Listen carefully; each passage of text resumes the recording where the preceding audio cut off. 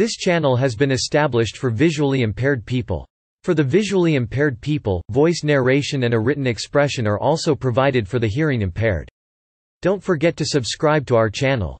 Passivation, in physical chemistry and engineering, refers to a material becoming passive, that is, less affected or corroded by the environment of future use. Passivation involves creation of an outer layer of shield material that is applied as a microcoating, created by chemical reaction with the base material, or allowed to build from spontaneous oxidation in the air as a technique. Passivation is the use of a light coat of a protective material, such as metal oxide, to create a shell against corrosion. Passivation can occur only in certain certain conditions, and is used in microelectronics to enhance silicon The technique of passivation strengthens and preserves the appearance of metallics in electrochemical treatment of water. Passivation reduces the effectiveness of the treatment by increasing the circuit resistance, and active measures are typically used to overcome this effect, the most common being polarity reversal, which results in limited rejection of the fouling layer. Other proprietary systems to avoid electrode passivation, several discussed below, are the subject of ongoing research and development when exposed to air. Many metals naturally form a hard, relatively inert surface, as in the tarnish of silver, others, like iron, corrosion to a somewhat rough surface by removal a substantial amount of metal, which either dissolves in the environment or reacts with it to produce a loosely adherent, porous coating of corrosion products. Corrosion coating reduces the rate of corrosion by varying degrees, depending on the kind of base metal and its environment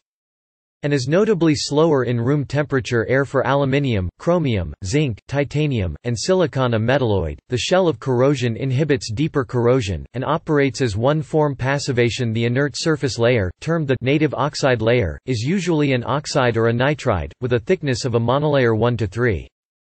Mechanisms Pourbaix diagram of iron. There has been much interest in determining the mechanisms that govern the increase of thickness of the oxide layer over time. Some of the important factors are the volume of oxide relative to the volume of the parent metal, the mechanism of oxygen diffusion through the metal oxide to the parent metal, and the relative chemical potential of the oxide boundaries between micro-grains. If the oxide layer is crystalline, form an important pathway for oxygen to reach the unoxidized metal below. For this reason, vitreous oxide coatings, which lack grain boundaries, can retard oxidation. The conditions necessary but not sufficient for passivation are recorded in Pourbaix diagrams. Some corrosion inhibitors help the formation of a passivation layer on the surface of the metals to which they are applied. Some compounds, dissolving in solutions chromates, molybdates form non-reactive and low-solubility films on metal surfaces. Discovery In the mid-1800s, Christian Friedrich Schoenbein discovered that when a piece of iron is placed in dilute nitric acid, it will dissolve dissolve and produce hydrogen, but if the iron is placed in concentrated nitric acid and then returned to the dilute nitric acid, little or no reaction will take place Schoenbein named the first state the active condition and the second the Passive condition If passive iron is touched by active iron, it becomes active again in 1920. Ralph S. Lillie measured the effect of an active piece of iron touching a passive iron wire and found that a wave of activation sweeps rapidly at some hundred centimeters a second over its whole length specific materials silicon in the area of microelectronics. The formation of a strongly adhering passivating oxide is important to the performance of silicon in the area of photovoltaics. A passivating surface layer such as silicon silicon nitride, silicon dioxide or titanium dioxide can reduce surface recombination, a significant loss mechanism in solar cells. Aluminium Pure aluminium naturally forms a thin surface layer of aluminium oxide on contact with oxygen in the atmosphere through a process called oxidation, which creates a physical barrier to corrosion or further oxidation in most environments. Aluminium alloys, however, offer little protection against corrosion. There are three main ways to passivate these alloys, alclad alcladding, chromate conversion coating and anodizing alcladding is the process of metallurgically bonding a thin layer of pure aluminium to the aluminium alloy chromate conversion coating is a common way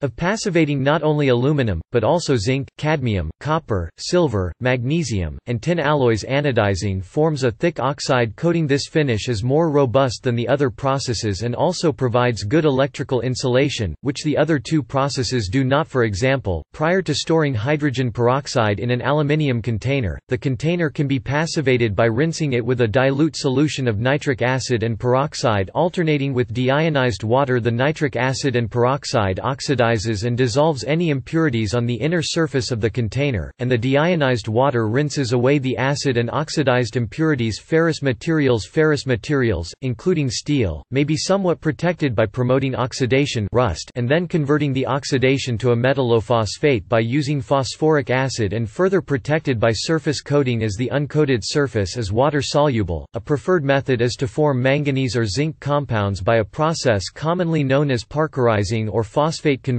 older, less effective but chemically similar electrochemical conversion coatings included black oxidizing, historically known as bluing or browning ordinary steel forms a passivating layer in alkali environments, as reinforcing bar does in concrete stainless steel. Stainless steels are corrosion resistant by nature, which might suggest that passivating them would be unnecessary. However, stainless steels are not completely impervious to rusting. One common mode of corrosion in corrosion-resistant steels is when small spots on the surface begin to rust because grain boundaries or embedded bits of foreign matter such as grinding swarf allow water molecules to oxidize some of the iron in those spots. Despite the alloying chromium this is called rouging some grades of stainless steel are especially resistant to rouging parts made from them may therefore forego any passivation step. Depending on engineering decisions, passivation processes are generally controlled by industry standards, the most prevalent among them today being ASTM A967 and AMS 2700. These industry standards generally list several passivation processes that can be used, with the choice of specific method left to the customer and vendor. The method is either a nitric acid based passivating bath, or a citric acid based bath. The various types listed listed under each method refer to differences in acid bath temperature and concentration. Sodium dichromate is often required as an additive to promote oxidation in certain types of nitric-based acid baths. Common among all of the different specifications and types are the following steps. Prior to passivation, the object must be cleaned of any contaminants and generally must undergo a validating test to prove that the surface is clean. The object is then placed in an acidic Passivating bath that meets the temperature and chemical requirements of the method and type specified between customer and vendor temperatures can range from ambient to 140 degrees Fahrenheit, while minimum passivation times are usually 20 to 30 minutes. The parts are neutralized using a bath of aqueous sodium hydroxide, then rinsed with clean water and dried. The passive surface is validated using humidity, elevated temperature, a rusting agent salt spray, or some combination of the three. However, proprietary passivation process processes exist for martensitic stainless steel, which is difficult to passivate, as microscopic discontinuities can form in the surface of a machined part during passivation in a typical nitric acid bath the passivation process removes exogenous iron, creates, restores a passive oxide layer that prevents further oxidation rust and cleans the parts of dirt, scale, or other welding-generated compounds e.g. oxides it is not uncommon for some aerospace manufacturers to have additional guidelines and regulations when passivation passivating their products that exceed the national standard often, these requirements will be cascaded down using NADCAP or some other accreditation system. Various testing methods are available to determine the passivation or passive state of stainless steel. The most common methods for validating the passivity of a part is some combination of high humidity and heat for a period of time, intended to induce rusting electrochemical testers can also be utilized to commercially verify passivation.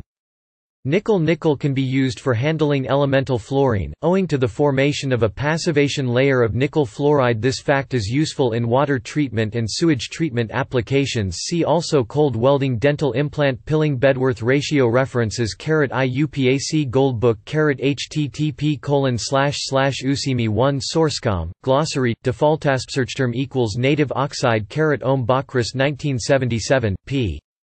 Carrot Lillie, Ralph S. June 20, 1920 The Recovery of Transmissivity in Passive Iron Wires as a Model of Recovery Processes in Irritable Living Systems. The Journal of General Physiology Physiological Laboratory, Clark University, Worcester 322-129-43 doi, 101085, JGP 32129 retrieved 15 August 2015. For new designs, legacy designs may still require older revisions or older standards, if the engineering has not been revisited. MIL DTL 13924 formerly MIL C 13924 This MIL spec document additionally identifies various classes of black oxide coatings, for use in a variety of purposes for protecting ferrous metals against rust Budinski, Kenneth G. 1988, Surface Engineering for Wear Resistance, Englewood Cliffs, New Jersey, Prentice Hall, p.